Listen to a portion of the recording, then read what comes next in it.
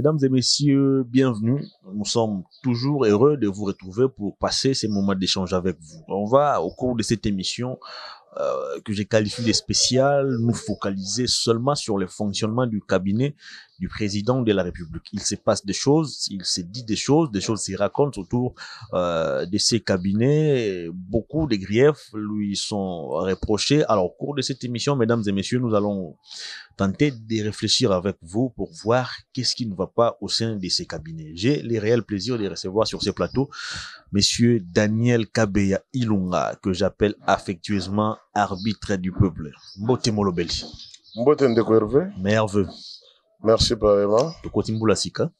Wewe nakoti yango na nzela ya ba poto poto na nzela ya bato basali ba mafie ebele bayibi hmm.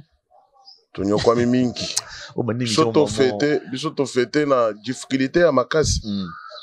esenge omoni nazali koleka na baémission na yo nazosenga ke chef bandeko ya kasai baza koreklame hmm. chef de l'état ayokaki yo euh, président ayokaki yo président ayokaki ngai hmm. omoni président tolobaka ke ayokaka te mais président azoyoka mingi mais lelo coup de chapeau na kotambola totamboli na président euh, amoni baréalité seke bato oyo aza na bango bazosunga ye ata na eloko moko te e de deux naza kofélicite chef de l'etat kopesa ye pe mbote esika azali na ko accorde nga quand même chance ya kokutana pe na ngai kosolisa ngai pe awa na Kinshasa batielaka nga bakale batyelanga bakale babloke molobeli akoki kosolola na chef de l'etat te mais bato nyonso bazalaki na site ya nkwadi bamonaki quand même ndenge albitre ya peuple asololi asololaki vraiment mpenza na mokwa ntombolo fara fara nafundi na ndenge akosakana te nafundi oh, mabe ofundi banani bakonseye nyonso tu bakonseye ya bakuyakuya wana oh, bakuyakuya ndenge bato na bino ya idps bato wana toyebi ata papa bazala na udps tebauta na udps paris canada udps ya biso oyo eforma bato ba antivalere te mm. so omoni kaka moto aza pembeni ya mokonzi ya mboka azobenda bichebechebe yebake awuta na udps te puiske biso toforma ba antivalere mm. te mm. ndeko herve naza na bamakambo ebele mais lokola toza na émission na yo mm. mituna ekouta epa na yo mm. nakotalisa yo très bien Boni. mais quand même euh, il faut koféliciter d'abord ntango tokomi mm. na kananga mm. tomoni quand même euh, jean simon mm. jean simon futi oyo aza kosala intérim na cns mm. ah.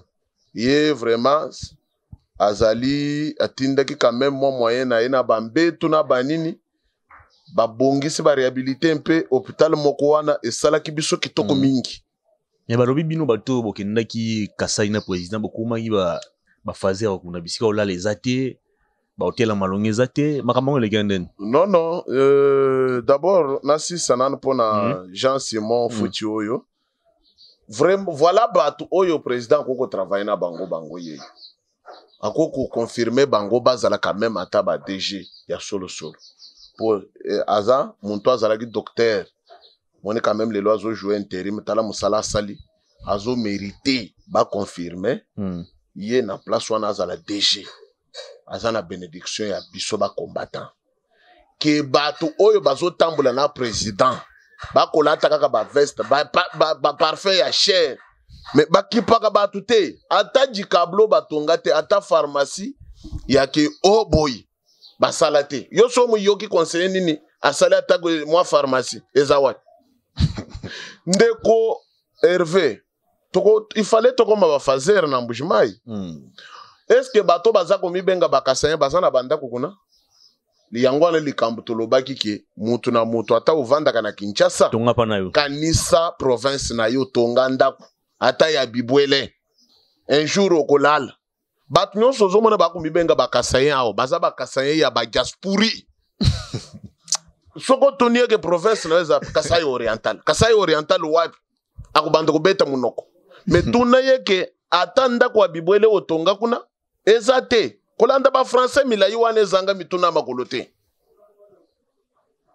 bayebaka ba, ba province na bango te yango wana tokomaki na bango na bafazer mais biso lokola toza quand même na ba na baadresse basosa mboka nakendaki kolala kaka epai na biso nabimisi bapeti na ngai nyongami bobi bobi bobi babimi nakomi kolala kuna tala namoni yanke mosusu conseil chef de l'etat mosusu azoyela ngai ebi o oh, bacheska batieli biso mai ezokota quand même sede ngai tolala na ngai bi okabaka okabaka te ezala libanda di naza place ya kopesa olala te nayebi so bafrançais nyonso elembi ndeko herve nakota na likambo moko esalemi oyo chef de l'etat mm. vraiment oyo nga moko namoni na misu mm. tokomi jour towutaka na nga towuti kabinda toye chef de l'etat aye akoti epai na ye avandi hmm. ezalaki bakoka bato mwa population ebele baye na, na coin ya président wana omoni hmm. ke moto aye quand même 3 ans souci ya président na bango bato babeti première jour balali libanda mm. président na kolemba ya nzela wana tokendaki ya kabinda puiske nzela wana ezalaki de trajet il fallait tozwa nzela oyo ekoti katanda mpo tokende na kabinda mais éclairer akei na biso na nzela oyo ekei ngandanjika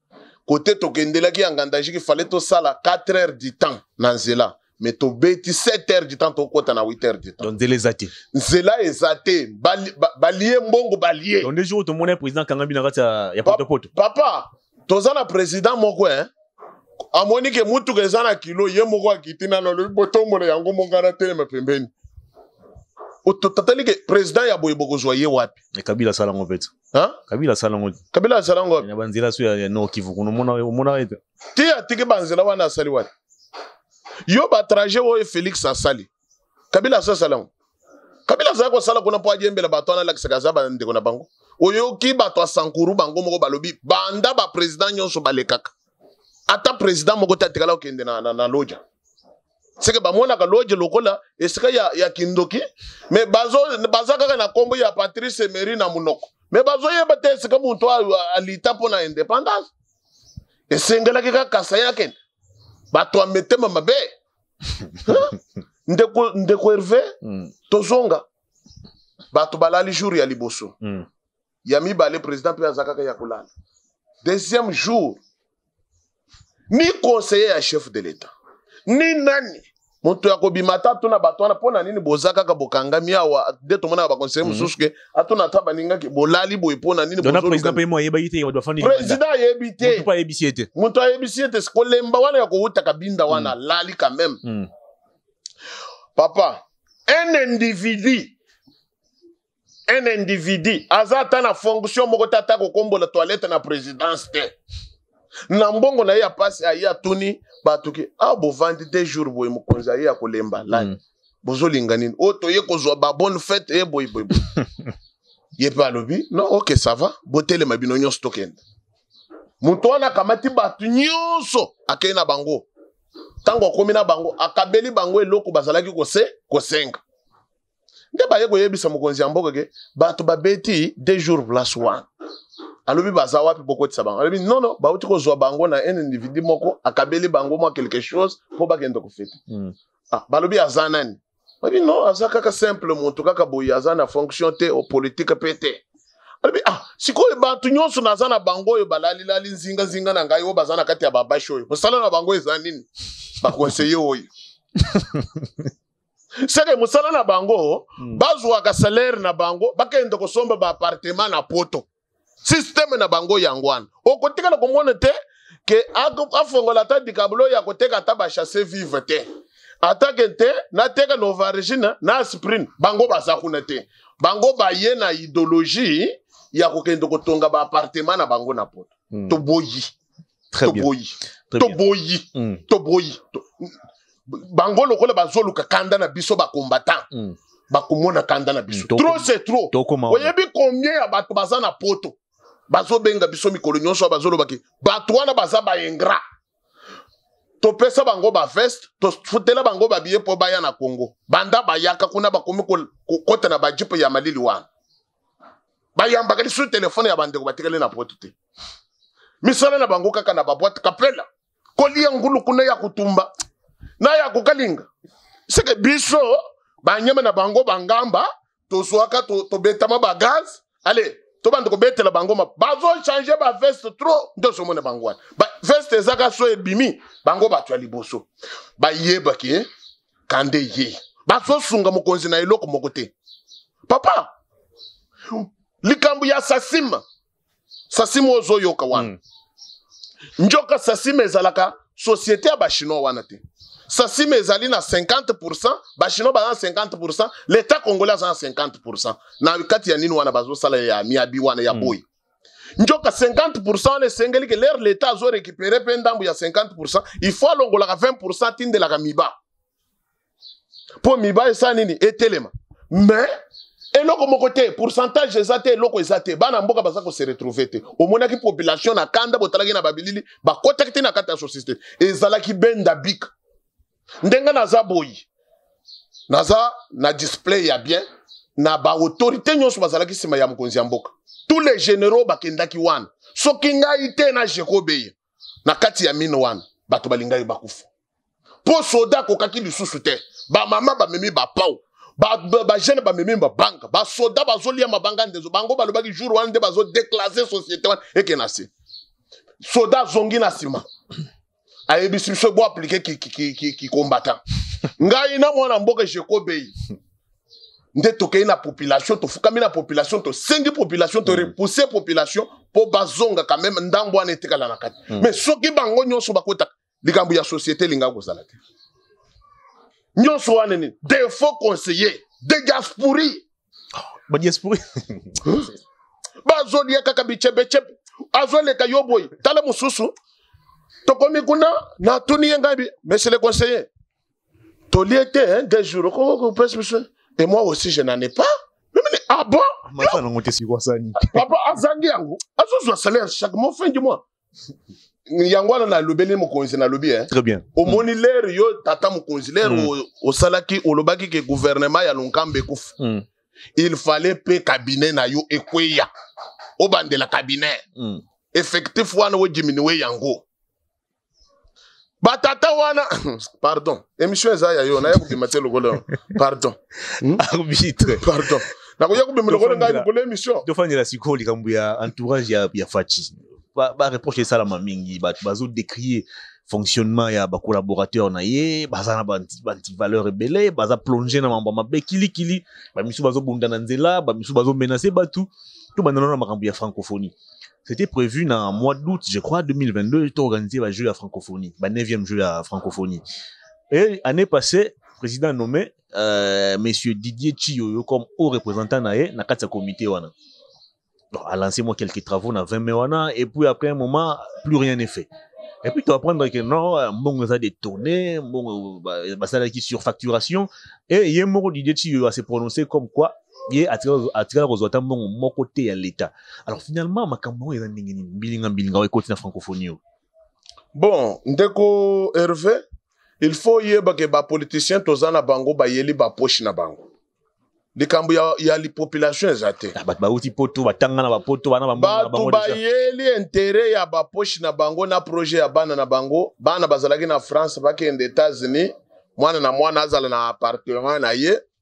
bazala na million na compte ya banque faci azobunda ye moko faci azobunda ye moko makambo tokiriyaki na ntango ya kabila banti valeur wana baye kozinga lisu mokonzi ya mboka me biso te biso tokolinga yango te puiske omoni biso bakombatan eh? molimo ya etienne tshisekedi ndenge emati biso boyi tokolongola bango nyonso faci akotikala ye moko hmm, bolongola bango ndeni papa ntanoma ye bango faci bino bolongola bango ndeni nazoloba Fatshi na na bango nani apesi bango mosala?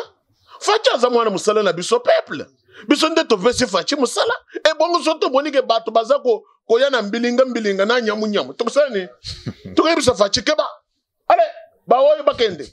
Fatshi akosepela te azala na ba conseiller aboye population. Non. Ngai mm. na yo mm. na ndeko kuna na bawo kuna nde topesi Fatshi mosala.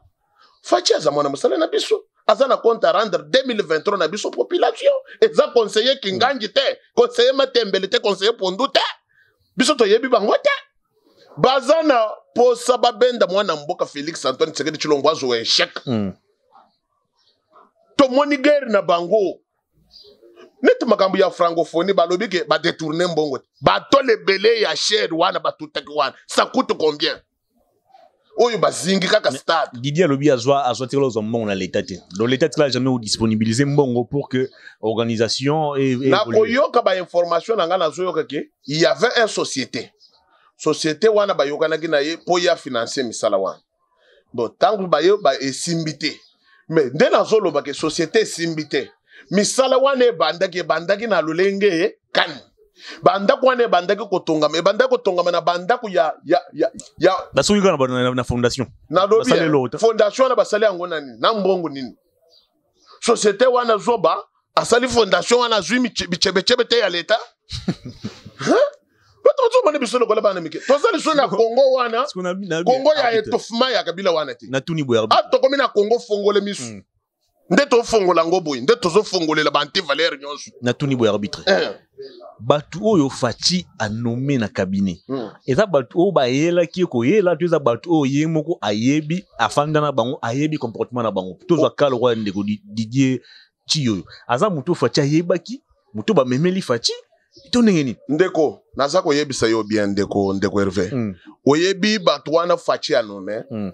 baza mpe bato oyo babundi na mokonzi ya mboka. Babundi na sens nini? Bango bazalaka libanda ya mboka. Bato oyo tokobenga ba diaspora mm. oyo basalaka mpe lite na niveau ya libanda. Mm. So bayoki ke combattant moko abimi aza na Brazzaville, bazali komenase ye, batindi ata mwa eloko, moto aye.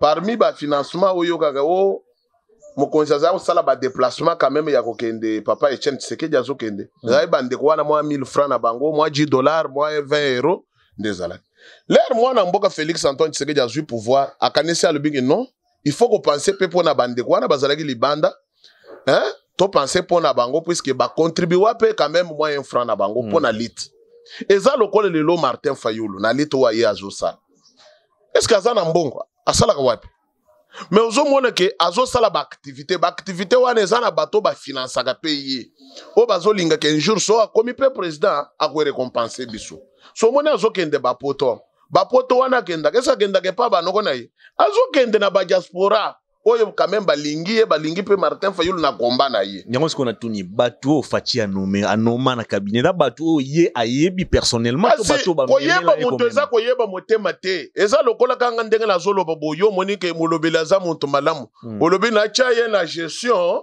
oyo ya mbongo oyo abanda kogere biloko na ngai ndeko herve otye ngai omoni kaka lokola ndeko albitre azalaka na motema malamu elongi na ye eza na ba ba ba ba ba ba ba ba ba sourire akotikala kosala ngai mabe te ntango yo otye ngai wana njoka ngai grand voler seke mosala na ngai nayebi ke herve mosala ekoki kosila ye lobi mhm. ngai na kose retrouve na nini nakobanda kosala ke place naza wana na créer batrou ezala mpo na amona mwaye ya kobenda bichebechebe okomona nde probleme toza na faci ayebi bato na bilongi me motema na bango ayebi yango te baza bakameleon bachange couleur bato bayaka na poso ya meme mm. epai ya faci me babongoni bakomi lokola bapuku na banyau bakomi maboko milai ozomona ndeko faci aza nzambe te faci aza motu lokola yo na ngai confiance aza na yango mpo na bana mboka atali alobi ke no bandeko nyonso toya totonga mboka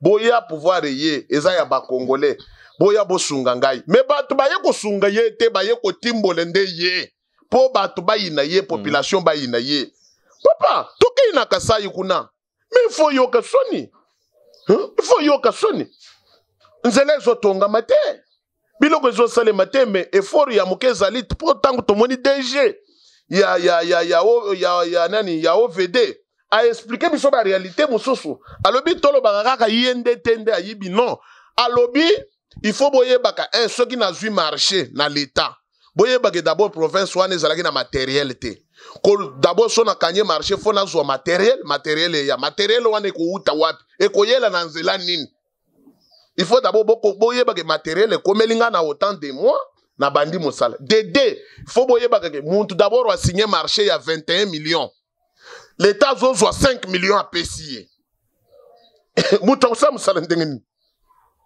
wana barealité dg ya bato azoyebisa biso mais biso oyo tokolobaka miye moyibi moyibi mais moyibi wana ifo toyebake quand même bapesi ye mbongo nyonso abandi mosala ça fait combien de temps wana eza barealité toyebi te mais quand même koyeba quand même mwa verité epesaka quand même mwa nini mais okomona ke bato balobi na mokonzi ya mboka tokotonga baekole amoni ekole te amoni ekole moko te na kasai likambo ya baekolo epenazoyebisa yo moto ezopela ndenge eza boye mokulu mpo mosusu moto ezobima ye na libanzi nazoyebisa oke moto ekopela mpo trop se trop biso molimo ya etienne tshisekedi esi etelemi awa tokotika te hmm. toza na virage ya suka 2022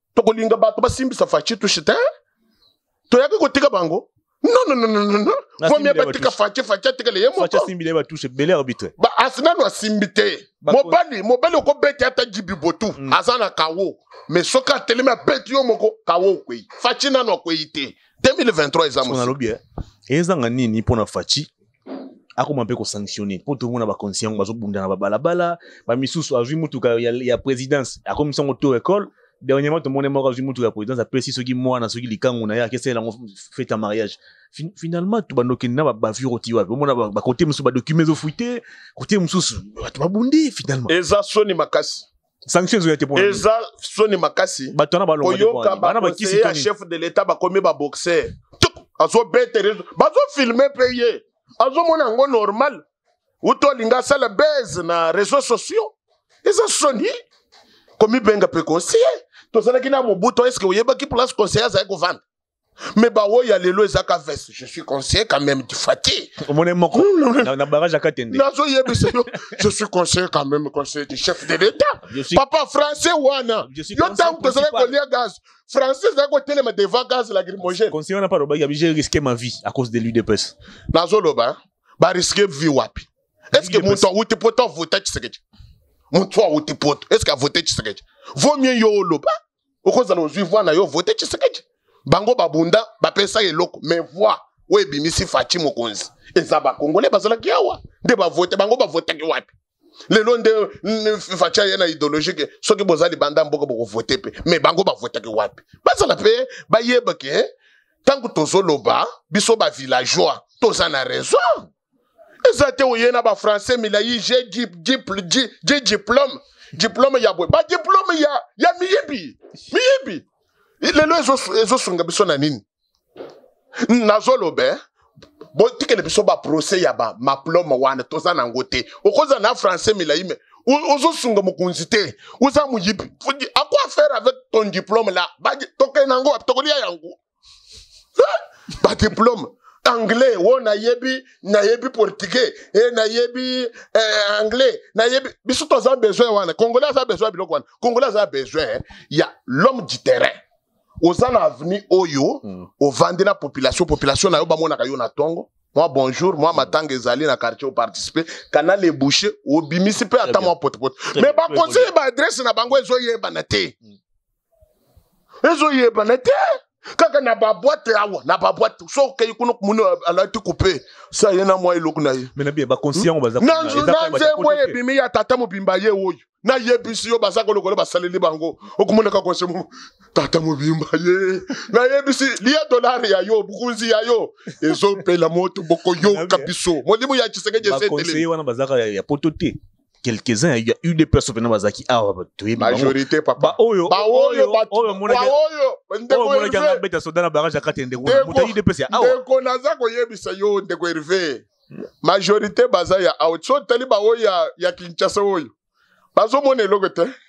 Ah, oyo anga beta na baraka na lobi baza na eloko te so tali mituka ebebi zolo mais siko baoyo wana projet eza kaka ya million tu voulais voir le chef de l'état il faut m'amener d'abord la somme de 50 000 azoye biso makambo tozo eza théâtre oyebi ngai naza kaniseke faci ayebi makambo wana te faci ayebi makambo nyonso sanction eza te pourquoi eh, papa zela lelo zela Fatshi Fatshi oyebi wana. Mm. Touti ko récupérer mupepe. Fatshi akomi loka mwana. Na lobi touti ko tala. Fimbo eza te. Ngai na lobi eh. Fatshi auti ko récupérer pouvoir na ye. Ah. Na ba coutumier sikoyo. OK. Papa, tous les chefs coutumiers ya Grand Kasaï. il faut otali biloko bapesisi bayebi biso ndenge oye boyi hmm. topesi yo mopepe très bien eh, nazwi biso je eza te libanda nakokauka te na nini na nzala oyo bato bakolia milio biso tova papa eh? ah, mbolongo ye 60 mille tokoki kosomba yango te tofandi mambo ya ah, pardon ndeko fallait pas otuna nga makambo oyo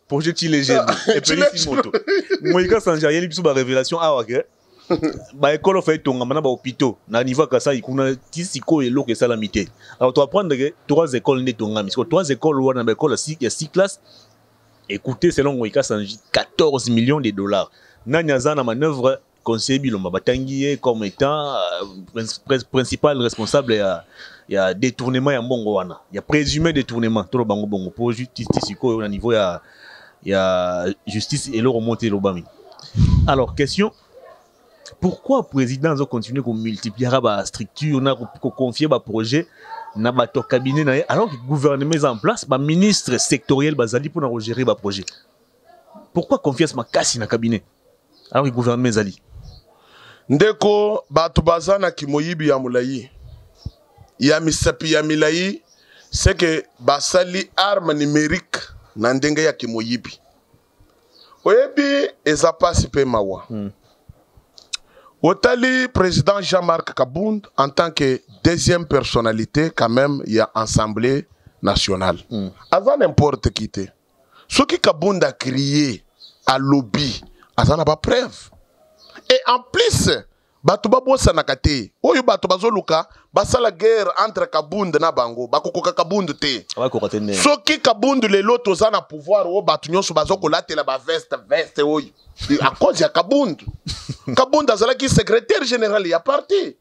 ye mutu ntango mbutu mbutu ebimi alobi ke non moto akoherite kozala président ya parti se félix totika nyonso tokosala bafrançais na biso badiplome na biso tobomba me totya mwana mobali o liboso mpo na réussite mpo na komba ya tata na ye lesel kabundu wana nde moto adevierie cle ya journée de la base oyo bakenda kosala faci ku na poto faci andimi atie signature bayebisi ekozala mokonzi ya mboka te alobi oui kabunda avandi alobi non etienne tshisekedi abimeli alobi felix asali eloko wana na nkombo ya nani kabunda atelemi alobi non et non avec la base félix retire signature so, soki kabunda azala motu mabe mm. alingaki ayebisa base ke félix atikala na poto biso awa to récupéré papa tozoya na chilejelu mm. zala na kimia ndeko mm. napesi wana mwa histoire temps eza na problème te fo bato bacomprendre combat mm. puisque na minute oyo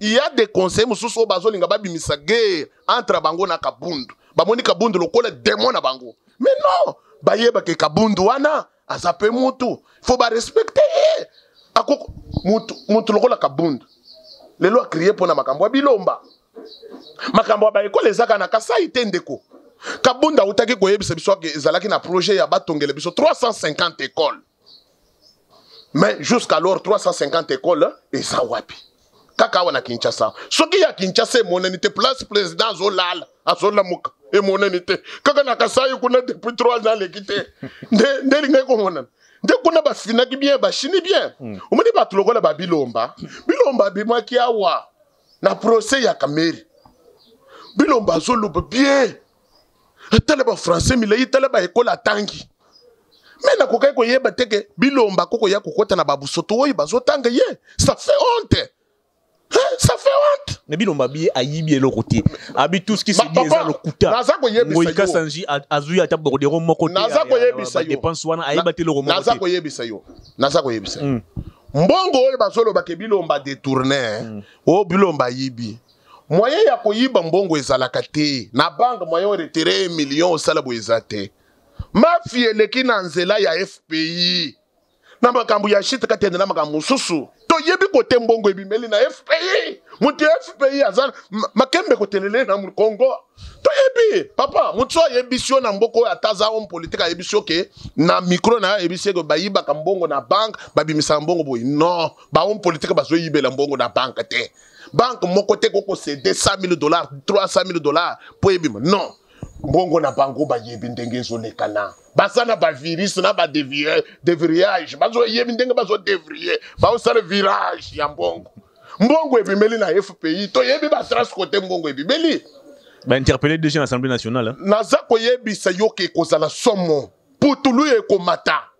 mpo na mbongo ya bana mboka bilomba ayebisa biso malamu bilomba nano alobi te azoloba na nani afale azela nalobi eh, ah, moto lokola marcelin bilomba akokaki kotikala te koakompagne chef de l'état na kasai ifale azala na kasai abanda kopresente ke chef tala mosala olansaki boye tala nde atikalaki mpo na nini soki aza muntu malamu atikalaki mpo na nini ye financier ifale azala kuna na kasai abanda kolakisa chef de l'etat totongi ekolo oyo totongi toilette oyo totongi totongi hopital oyo atikalaki mpo na nini mboka elengi tokozala na pango ya tour oyo bakosamba yango bakosanza desordre omoni ntango ya, ya, ya, ya kamere balobi kamere kamere me kamere sakei aza te me ya bango na na biso so omoni kombata mpenza ya kotelemelo na mpe biso tokozela leta lisusu te eza kaka oyibi na ndako na yo wana tokolanda na ndako wana ndako wana ndako na yo wana toyebi yango ni kopanza yango tokopanza yango badiscours ya violence boye likambo nini eza violence te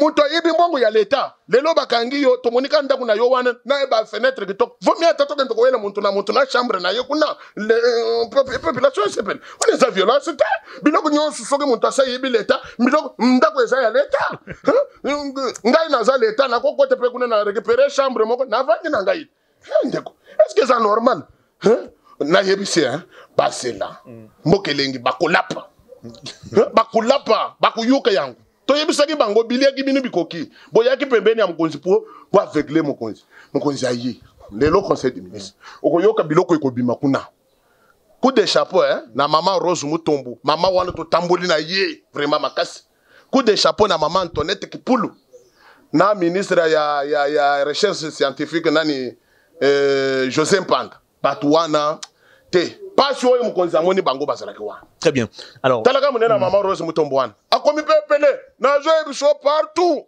mama ya justice wana ye mpe abeti marto na ndenge akosakana te mere na ngai vanda umela il faut korespecte bamama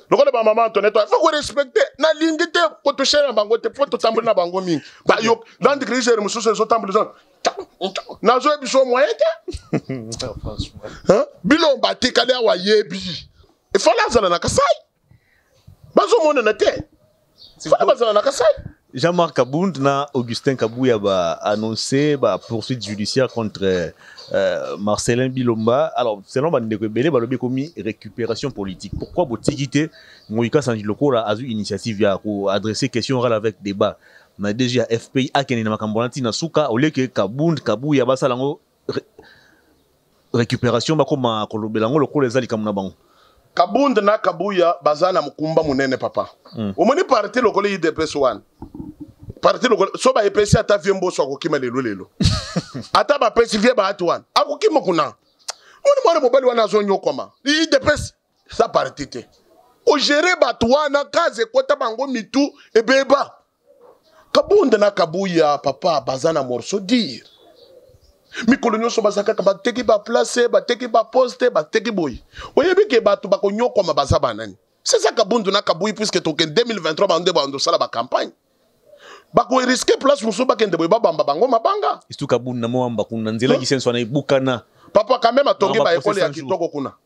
atongi ba ekolo kuna bo felicite ye kotala kaka nzela te baza pe ebele bondima nana moke moto azosala olobaka eh, nzela akosala azosala malembe malembe asalela kinga bo asala kuna atongi ekolo moko kuna ekolo eleki na bana ya bapatron bazotanga na baekolo mosusu na gomba ezanga moto na makolo me talela kisenso baekolo kitoko oyo ekobunda asala bien baprocès judiciaire contre conseiller bilomba asamba Ensemble.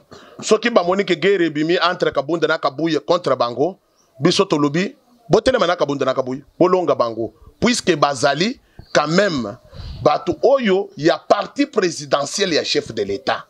Bango nde bako crier na likambo soki esalemi puisque so batikali bababa bakoloba ke non bopesaki mokonzi bato boye bazo travailler na bango boloba zala koloba te ya bato mosusu nde bozalaki koloba mais lokola Kabunda na Kabuye balobi soki baza na ba preuve il faut kotika bakende na marque wana bazokende puisque oyebi balobaka likambo mosusu na chilube chishi chijaja lukunda nchidi munda mwa lukunda elingi kolakisa nini mm. nyama oyo eliyaka lidesu mm. eza kaka oyo oyo eza kaka na kati ya lidesu omoni mpo baya kobukombatre yo na kati ya ndako na yo ata na kati ya famille mm. eza kaka na ndeko moko apesaka mpasi apesaka itineraire mm. ke tokodestabilize herve boye mm. mpo mm. bozwa ye bien pantalo wana alataka wana na se wana atyaka boye atyaka boye moto akopesa biloko wana ezaka mm. moto ozovanda nazoloba conseiller bilomba akoasime nyonso ya asali akofuta yango très bien alors augustin kabuya a annoncé restructuration ya cabinet alors ngai na mituna question pratiquement tous les jours Ba bilongi oyo toyebaka na kati ya UDPS wana bato lokola ba Albert Moleka, ba Valentin Mubaki ata lelo ayokana nazo na bino te. Bato wana tu ba euh, ba- mpona nini otangi ngai te kaka otangi bango wana kasi ngai Nazo ya malema malema. Eh, Ba Jacquemain Chabani, bon arbitre du peuple pazawa. eh, ngai mpe nazali awa Ba Cons- bon, David Na- Muteba- na- Muteba na aza ba déjà kuna. jekobeye Tu le jeune. Pourquoi Babylone on a tout au monde à peine na ba maître Zachary Kenda. Babylone on a tout au monde na combat. Mais là on ça le cas bo isola bango mais tout le monde va tout musuba. Comment la première plan le cas bango ne peine ba porter. Pourquoi j'ai ça récompenser Batouane. Mais le col ba sumbi et tili ba pesi biso fait vert to kokota. Toi na problème te tolinga to sala ngoli kambo te tolinga to sala acharnement te contre bango mm. tozo koloba bien que tozala inga ko acharnement te. Mm. Mokonzi akosala eloko aza na ngo pesa. Mm. elingaki ke biso base ou to biso ba combattant to mm. s'imposer devant mokonzi ya mboka te ke mpo na nini ozwi baoyo biso totelema non totikelaki mokonzi na biso mm. azala alaise mm. asala choix ndenge alingi mais ye moko acomprendre mais lokola acomprendre le temps yango oyo biso mpe tokɔta masolo yango ngai bapesa ngai kaka conseiller charge ya discipline c'est tout Très bien, aussi c'est mission hein? alors. Droit de l'homme alongola biloko na ye ya fimbu. Na 30 secondes arbitre du peuple na moni vidéo moyo circuler depuis lobby ndeko mo bobo na moni elongi na ye te azo benga bino ba combattants bo yende kobeta ba conseiller na palais de la nation. Anga na na lingi à travers yo toza message moko nakosala eloko wana te ah, en tant que en tant que un démocrate hmm. nakoki kosala biloko wana te muntu oyo anomaki bato wana ye nde asilana na bango biso tokobelela tata mokonzi tolobi ke baconseiller baye kosunga ye te alongola bango me nakoki kotelema te mm. nakende palais de la so bakangi nga kuna tumbu yulu nakolia kuna eh, nakokende te nga nazosala nde mokonzi ya mboka na balabala nabelela ye nayebi se tata mokonzi mfimbu nakokende te Eh, na libumu oyo basi bamamiki ngai misato l'émission est bien vite eh? caméra yango 10 secondes dernier message depuis tokambo merci na moi général chioyo dodo chinyama dodo chinyama ya IPH merci na mosala kitoko okosala yo nde ozomerita ata kozwa ville ya province ya kinshasa dodo chinyama kasongo akoka te kasongo akoka te akende na ndakokasongo akoka te kasongo avanda na ndako vraiment mm. eh, ndeko okati ngai kaka sikoyo ndeko ya na réalisation otyanga pression ozomonana te ah, papa akozala ndeko ya marcelin bilomba yango akati biso émission merci na mama rose mutombo mm. mama na ngai vraiment mm. sacrifice oyo namoni osali